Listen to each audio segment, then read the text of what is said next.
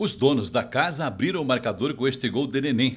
O Marechal empatou com Vini. 1 a 1 foi o placar do primeiro tempo. Na segunda etapa, Taborda aproveitou desatenção dos atletas do Vizinhenses e fez o segundo do time do Oeste Paranaense. O Galo corre atrás do prejuízo e empata com este gol de Anderson Negão. Em seguida, Lucas faz o terceiro e vira o jogo. Mas o Marechal reage e empata com mais um gol de Taborda, 3 a 3 no placar. Agora é Anderson Negão quem coloca dois vizinhos na frente no placar novamente, 4 a 3. O Marechal aposta no goleiro Linha para empatar, mas Luciano rouba a bola e faz o quinto do time da casa. Fim de jogo, Galo 5, Marechal 3. Com o resultado, dois vizinhos sobe para 11 pontos na Liga Paraná.